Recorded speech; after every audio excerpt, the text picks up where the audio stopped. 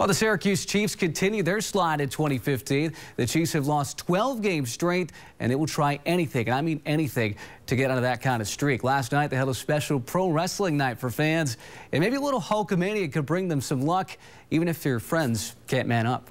Let's talk about this.